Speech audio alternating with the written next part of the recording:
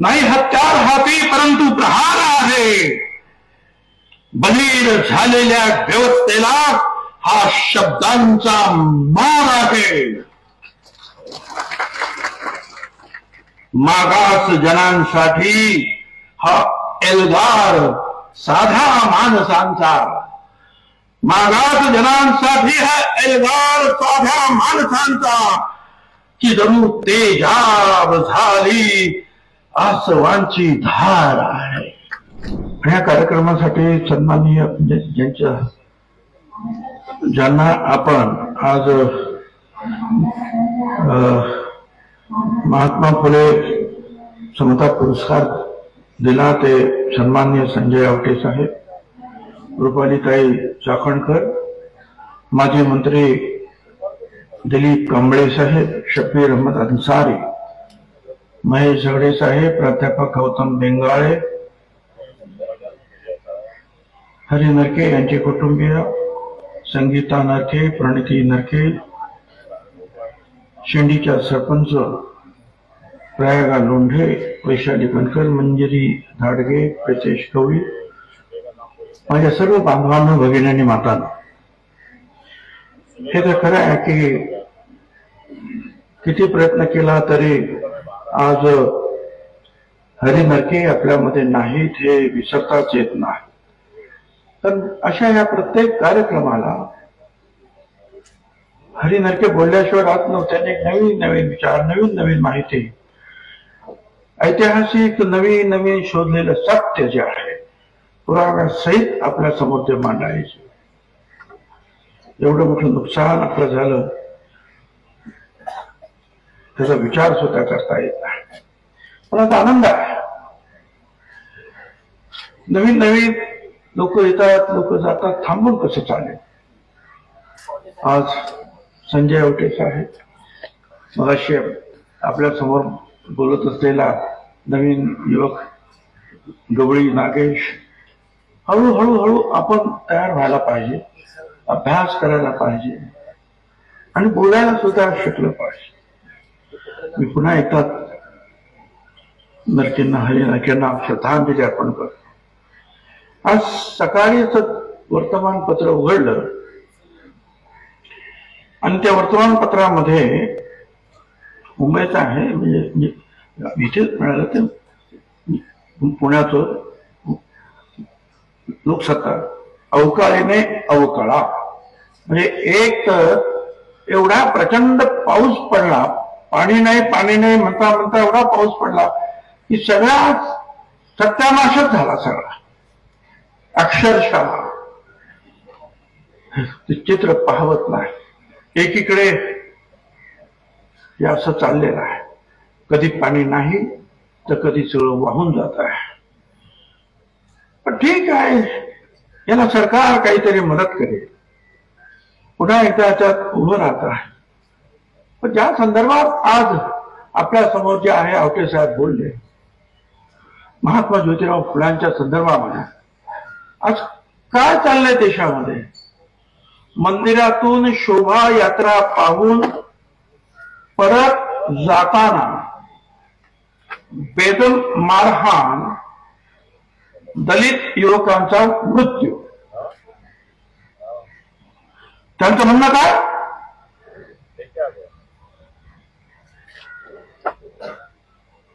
रविवारी घटना झाली. की तुम्ही दलित असताना आमच्या ह्या कार्यक्रमात आलेच का? मंदिराच्या कार्यक्रमात. शोभायात्रेत. आलेच का? म्हणून एवढी मारा की त्याचा मृत्यू व्हावा. आज महात्मा फुल्यांना स्मृती वंदन करत असताना हे आपण पाहतो. रामटेकला हा प्रकार झाला.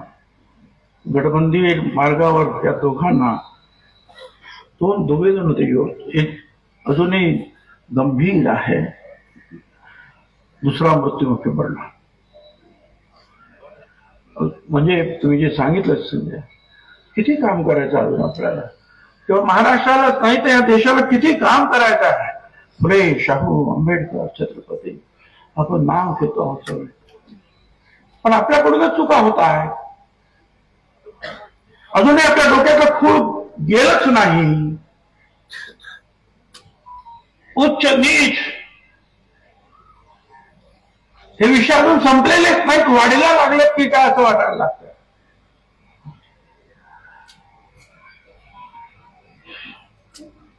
मी मगाशीच सांगितलं एवढं चांगलं भाषण झाल्यानंतर मी काही फारसं मोठं बोलणार नाही. महात्मा ज्योतिराव फुल्यांच्या बाबतीमध्ये मी काही तुम्हाला सांगायला पाहिजे असं नाही. प्रत्येकाने बाबासाहेब आंबेडकरांचं पुस्तक वाचलं पाहिजे शाहू महाराजांचं वाचलं पाहिजे महात्मा ज्योतिराव फुल्यांचं वाचलं पाहिजे छत्रपती शिवाजी महाराजांचं वाचलंच पाहिजे. एवढी चार पुस्तकं तर प्रत्येकाने वाचलं पाहिजे. ती वाचले तर कदाचित जे आहे तुम्हाला आपल्याला पुढे काय करायचं आहे हे लक्षात येईल. खर तर अठराशे अठ्ठ्याऐंशी मध्ये मुंबईमध्ये ज्योतिराव फुले यांचा राव बहादूर वंडेकर यांच्या हस्ते सत्कार करण्यात आला आणि महात्मा ही पदवी देण्यात आली. त्या देशामध्ये महात्मा गांधी महात्मा ज्योतिराव फुले महात्मा बसवेश्वर. ख्यातनाम विचारवंत गुहा रामचंद्र डॉक्टर रामचंद्र गुहा. ते म्हणतात की ज्योतिराव आधुनिक भारताचे शिल्पकार आहेत. बाबासाहेब आंबेडकर त्यांना गुरुस्थानी मानायचे. आणि फुले यांचा वारसा आपण कायम उराशी बाळगू असे अभिमानाने सांगायचे. आणि पुढे एकोणीशे बत्तीस साली पुण्यात बोलताना महात्मा गांधी म्हणाले होते ज्योतिराव फुले ये देश के पहले महात्मा है और असली महात्मा यही हा। महात्मा गांधी आणि आता पुढं स्वातंत्र्यवीर सावरकर यांनी फुलांना समाज क्रांतिकार म्हणून गौरविलं. तीन वेगवेगळे कदाचित भिन्न वैचारिक छावण्यांमधील या नेत्यांनी महात्मा ज्योतिराव फुले यांचा अशा रीतीने गौरव केला. मी थोडक्यात आठवतो म्हणून सांगितलं. भिडेवाड्याचं काम जे आहे सुप्रीम कोर्टापर्यंत गेलं. त्याचा मोकळं झालं. लवकरच काम सुरू होईल. एक महिन्याची आणखी त्यांना मदत दिली होती. आणि ती आणि हा जो महात्मा फुलांचा वाडा आणण्यात आपण पाहतो इथे जे आहे जागाची कमी पडते आहे आणि आम्ही सातत्यानं सांगतो आहोत की आम्हाला ही जागा जरा मोठी करून द्या. इतरांची सुद्धा युगपुरुषांच्या मोठ्या मोठ्या मोठी मोठी स्मारकं होत आहेत खर्च होत आहे काही पन्नास शंभर कोटी रुपयामध्ये तर आमचं हे सगळं काम होऊन जाईल. अजून अडचणी आहेत. या दोन्ही कामं ही जी आहेत लवकरात लवकर जे आहेत व्हावी अशी या महानगरपालिका असेल किंवा सरकार असेल किंवा इतर जे कोणी इथे इथले करते धरते जे आहेत त्या सगळ्यांना अतिशय विनंतीपूर्वक जे आहे आपल्याला सगळ्यांच्या वतीनं प्रार्थना करतात लवकरात लवकर हे काम होऊ द्या. आणि सहज होण्यासारखं आहे. सहज होण्यासारखं पण आता जर झालं नाही मात्र तर काही आणखी दोन तीन महिने आम्ही थांबू. पण मग पुन्हा एकदा इथे आंदोलन करणं उपोषण करणं अशा गोष्टी करण्याचा विचार आमच्या मनात येणार नाही. अशा रीतीने काम झालं तर बरं. होईल ते आनंदात होईल सगळं. नाही तर प्रत्येक गोष्टीसाठी लढायचं म्हटलं तर लढू ना. पण हे झालं पाहिजे. आता शेवटच्या मुद्द्यावर येतो.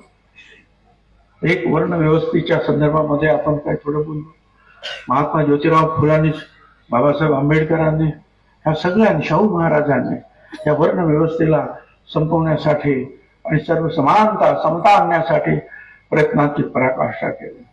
पण मी काल परवा म्हणालो एक कदाचित एक नवीनच वर्ण व्यवस्था राज्यामध्ये यायला लागलेली आहे. मी काय म्हणतो हे आपल्याला समजलं असेल. मी पुन्हा त्याचा काही पुनरुच्चार करीत नाही. ती वर्णव्यवस्था वेगळी आताची वर्णव्यवस्था वेगळी. आता कोणाची लायकी? कोण मोठा? कोण छोटा? चाललेला आहे तुम्ही म्हणा त्याचप्रमाणे जे आहे मला सुद्धा म्हणायचं वाटतं की वाटतं होतं की सगळं संपलं संपलं संपलं. परंतु परत असं वाटायला लागलं उषक काल होता होता काळ रात्री झाली. अरे पुन्हा आयुष्याच्या पेटवा मशाली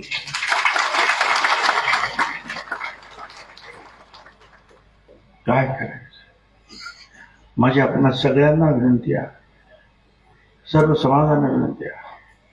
मी कुठल्याही समाजाच्या विरुद्ध नाही. आपण सुद्धा कुठल्याही समाजाच्या विरुद्ध असता कामा नये आपल्या हक्कासाठी मात्र आपल्याला लढावं लागेल. आणि मगाशी सांगितलं आवटे साहेबांनी बोलण्याचा अधिकार आपल्याला मिळाला. बाबासाहेब आंबेडकरांनी दिला. कुठेही देशामध्ये जाण्याचा अधिकार आम्हाला दिला. बाबासाहेब आंबेडकरांनी दिला. कुठे नोकरी धंदा राहण्याचा अधिकार आम्हाला दिला. बाबासाहेब आंबेडकरांनी दिला. आणि म्हणून मी त्या दिवशी सांगितलं बाबासाहेब आंबेडकरांनी एकोणीसाव्या कलमात केलं आहे की जर कोणी असं जर थांबवलं आणि अडवलं कुठे गावात जाण्यापासून तर एक महिन्याची सजा आहे. माझी विनंती आपल्याला एवढीच आहे की कृपया आपसात लढू नका. सगळे एकत्रित राहा. छोटे मोठे महाराज वर्गीय सगळे एकत्रित राहा. एका आवाजात बोला. जे काही चुकीचं असेल ते निश्चितपणे मागे पडेल. वेगवेगळ्या आवाजात जर आपण बोललो तर बरोबर होणार नाही.